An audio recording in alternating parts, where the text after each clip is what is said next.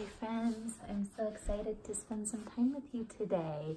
Today you'll see I have my paper and my board, so in a bit we're gonna draw together. But first, let's talk about what we're celebrating this week. It's Earth Week, which means we're talking about all things we love about our Earth.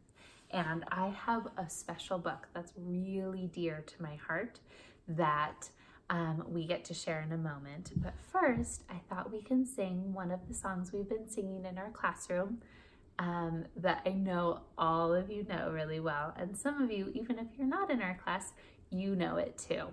Let's sing It's a Small World together. Will you help me? Ready? Okay. It's a small world after all. It's a small world after all. It's a small world after all. It's a small, small world. It's a world of laughter, a world of tears. It's a world of hope and a world of fears. That there's so much that we share that it's time we're aware. It's a small world after all. It's a small world after all. It's a small world after all. It's a small world after all. It's a small, small world. There is just one moon and a golden sun, and a smile means friendship to everyone. Though the mountains are high and the oceans are wide. It's a small world after all. It's a small world after all. It's a small world after all. It's a small world after all. It's a small, small world. Thank you for singing with me that was going to be one of our Earth Day performance songs, huh? So you can sing it with me and you can sing it with your family and your friends and it will be helpful to have a little bit of a smile on your face, won't it? Okay. Well, today, like I said, I have a very special book for you because this book is titled The Little House and the author is Virginia Lee Burton. And The Little House is one of my most favorite childhood books that I read when I was your age, and I would love to read it to you. Now, this book has many happy parts, but it does have a few sad parts. And you might feel like the house is alive and has emotions and feelings, and that's okay. What's special about this book is you're thinking not only about the house, but the world around her and what's happening around her. So as we read, if you feel happy or sad at some points, that's okay. It's okay to feel different ways. Are you ready to read? Okay. The Little House. The first page does not have words, but it tells the story. Can you see what's happening here? She is a happy house. Hmm, things begin to change. Let's see what happens. Once upon a time, there was a little house way out in the country. She was a pretty little house and she was strong and well built. She, the man who had built her so well, said, this little house shall never be sold for gold or silver, and she will live to see our great great grandchildren's great great grandchildren living in her. He wanted it to last a long, long time. Isn't that special? The little house was very happy as she sat on the hill and watched the countryside around her. She watched the sun rise in the morning and the sun set in the evening. Day followed day, each one a little different from the one before, but the little house stayed just the same. In the nights, she watched the moon grow from thin new moon to a full moon and back again to a thin old moon. When there was no moon, she watched the stars. Way off in the distance, she could see the lights of the city. The little house was curious about the city and wondered what it would be like to live there. Hmm. Time passed quickly for Little House and she watched the countryside slowly change seasons. In spring, the days grew longer and the sun warmer. She waited for the robin to return from the south. Remember robins migrate? So it's returning from the south. She watched the grass turn green. She watched buds on the trees swell and the apple trees burst into blossoms. She watched the children playing in the brook. It's a little bit of water. That looks like a happy house, doesn't it? Hmm. In the long summer days, she sat in the sun and watched the little trees cover themselves with leaves and the white daisies cover the hill. She watched the gardens grow and the apples turn red and ripen. She watched the children swimming in the pool. And in the fall, when the days grew shorter and the nights grew colder, she watched the first frost turn the leaves from bright yellow to orange to red, and the harvest was gathered and apples were picked. She watched the children going back to school. And what comes next? First we had spring, then summer, then fall. Winter, that's right. When the winter nights were long and the days were short, the countryside covered with snow. She watched the children coasting and skating, and year followed year. The apple trees grew older and new ones were planted. The children grew up and went away to the city. And now at night, the lights of the city seemed brighter and closer. Hmm. One day, the little house was surprised to see a horseless carriage coming down the winding country road. Hmm, so she was built when there were no cars, only carriages that horses pulled. But one day she saw something without a horse pulling it. Pretty soon there were more of them on the road and fewer carriages pulled by horses. Pretty soon along came some surveyors who surveyed a line in front of the little house. Surveyor is somebody who looks at the land and measures out different lines of where their property is. And pretty soon along came a steam shovel that dug a road through the hill that was covered with daisies. Then some trucks came and dumped big stones on the road and more trucks came with little stones, and more trucks came with tar and sand, and finally a steamroller came and rolled it all smooth. What were they making? A road. The road was done. They're building a road right next to the little house. Now Little House watch the trucks and the automobiles, those are cars, going back and forth to the city gas stations, road stands, small houses followed the new road. Everyone and everything was moving much faster than before. Hmm, is her world changing? The neighborhood is looking different.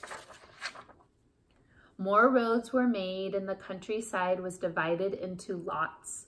More houses, bigger houses, apartment houses, tenement houses, schools, stores, garages were spread all over the land. And the crowded and they crowded the little house. No one wanted to live in her anymore or take care of her. She couldn't be sold for gold or silver, so she just stayed there and watched. Wow, she did not change all the land around her began to change. Now it was not so quiet and peaceful at night. The lights of the city were bright and very close. The street lights shone all night long. This must be living in the city, thought Little House. And didn't know whether she liked it or not. She missed the field of daisies and the apple trees dancing in the moonlight. Hmm. Pretty soon there were trolley cars going back and forth in front of Little House. They went back and forth all day and even part of the night. Everyone seemed to be very busy and everyone seemed to be in a hurry. She's definitely in the city now, isn't she?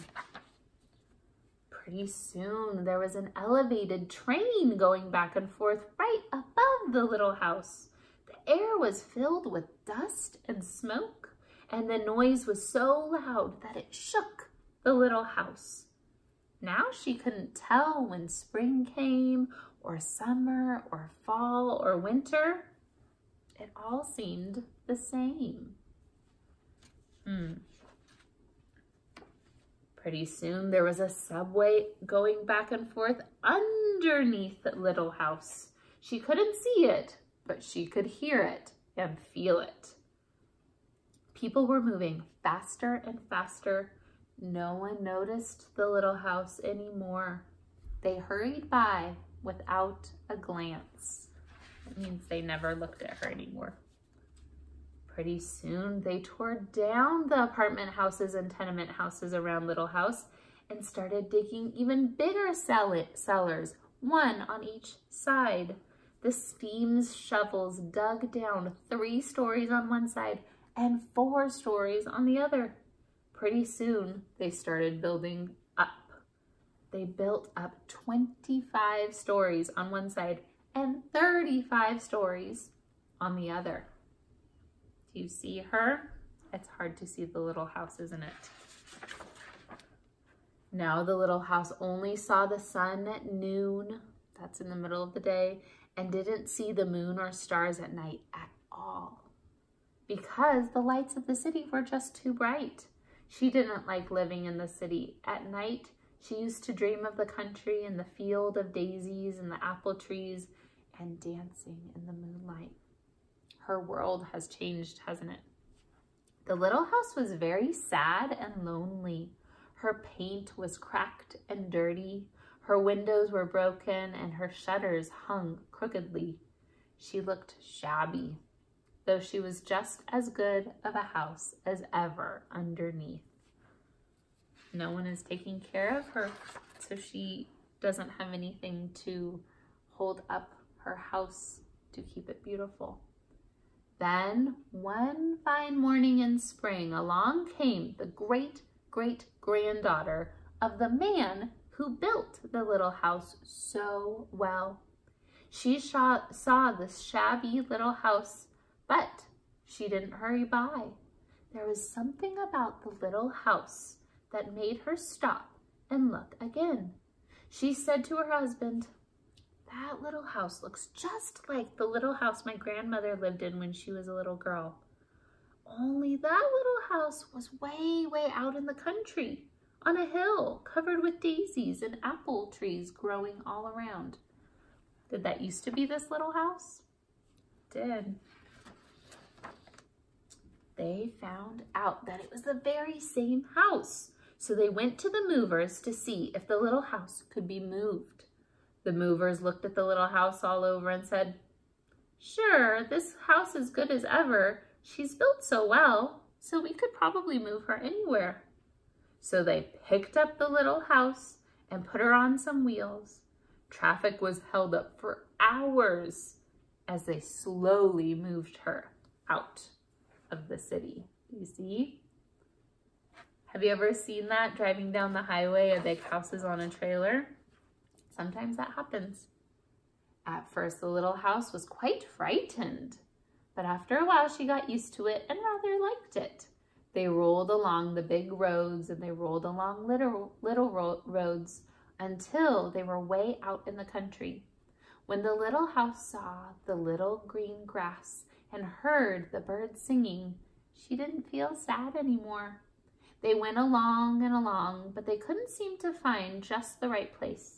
They tried the little house here, they tried her there, and finally saw a little hill in the middle of a field. The apple trees were growing all around. There, said the great-great-granddaughter, that is just the place.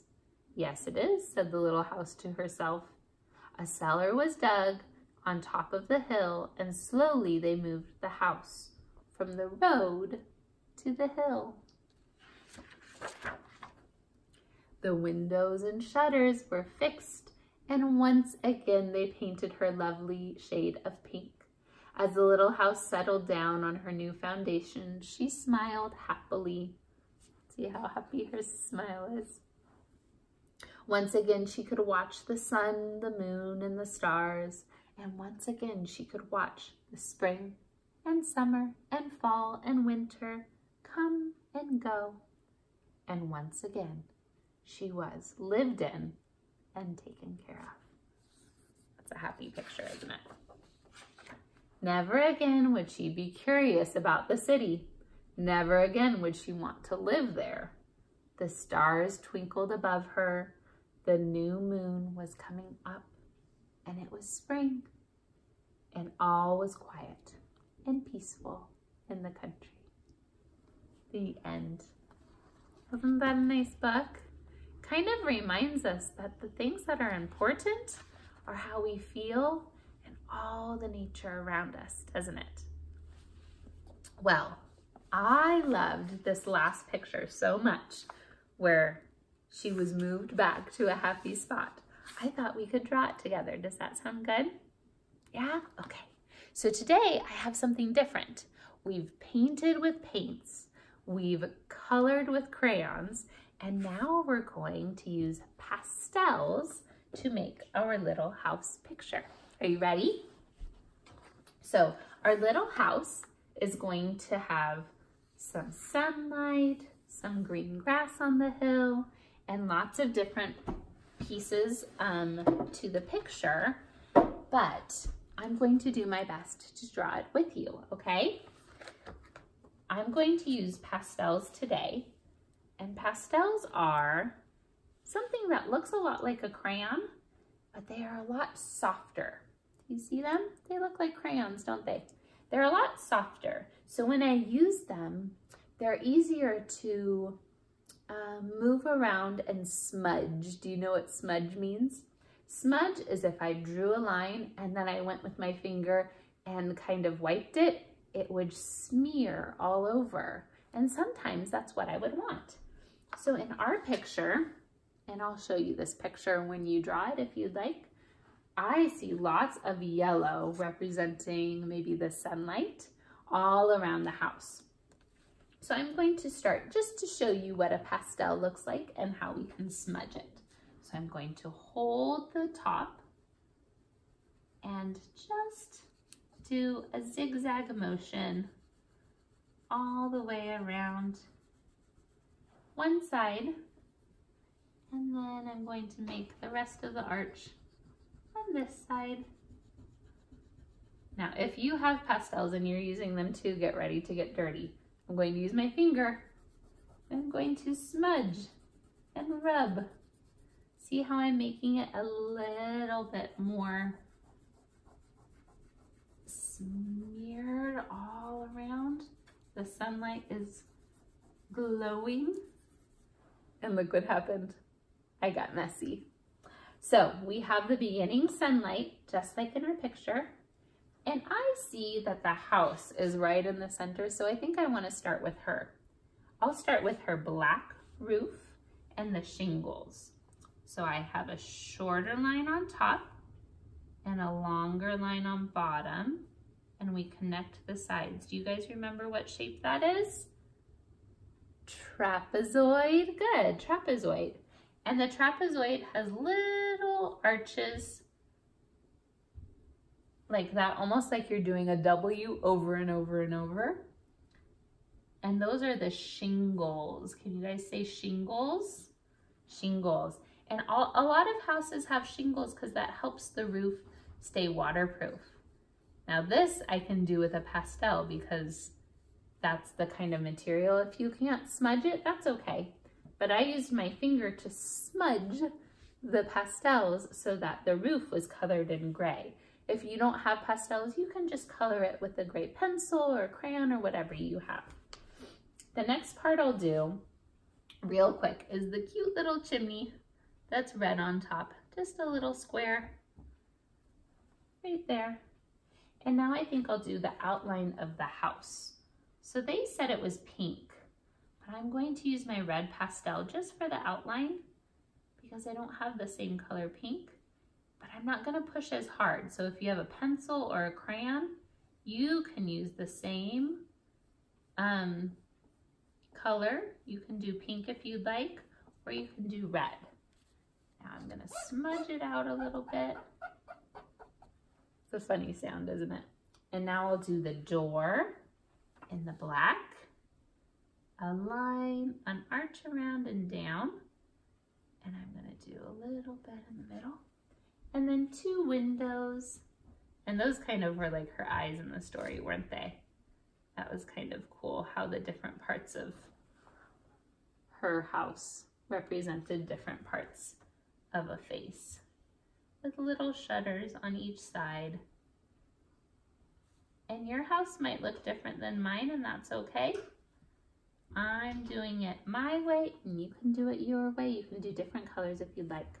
Now the front has two steps and some stones on either side. So I'm going to do a curve and a curve and then little circles to represent the stones on each side.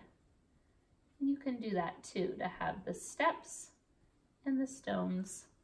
I'm going to smudge a tiny bit to make it more gray. A little house. Now we're going to look at, let's see, let's look at the outline of the green hill with the grass that she's on. So I'm going to do a circle curve there and a circle curve there. Two curves on each side. And now I'm going to get some brown to work on the trees. And I don't know if I'll do the same amount of trees that the little house has. I might just do a couple. And I'm just doing that by coloring in brown there. And then maybe one more down here. And you guys can put your trees wherever you want. And then, do you see the beautiful apple blossoms that are pink? I'm going to use my pink, my light pink, and do swirls to represent the blossoms. Can you do swirls, little spirals? All around, kind of like you're doing curly hair on the top of each tree. Isn't that pretty fun? And then I'm going to smudge, but if you don't have you don't have to worry about this part. I'm just gonna smudge it to soften it up a little bit, to make it a little lighter of a pink. Awesome. Okay, I have my trees. Shall we color in the green grass? Does that sound good? So I'm going to do kind of, remember we talked about shading? I'm going to do some light shading around the tree, around the house, around the trunks. So there's a little bit of green and I see there's green here and yellow and green. I'm just going to mix some yellow in and you can do that too. Just where I feel like the yellow should go. That's kind of representing the sunlight. And then I'm gonna get my smudging finger and smudge all the yellow and green together so that the hill has all the color around. What do we think? Now I waited to do the second arch of the sun just to see how big my picture was going to be. Now that I know, I'm going to do my zigzags for my second sunlight arch. Zigzag, zigzag, zigzag, zigzag, zigzag. Very good. I'm gonna get my, let's see, my blending finger. I think I'll use my pinky because I don't want to mix my colors. Blend, blend, blend. That looks like a pretty happy house, doesn't it? And you can add different things to yours, but I think I'm happy with mine. Are you happy with yours? Good. the little house. She looks very happy on her hill, doesn't she? Thanks so much for reading one of my favorite books with me and for drawing and experimenting with some new different colors. I'll see you next time, friends. Take care.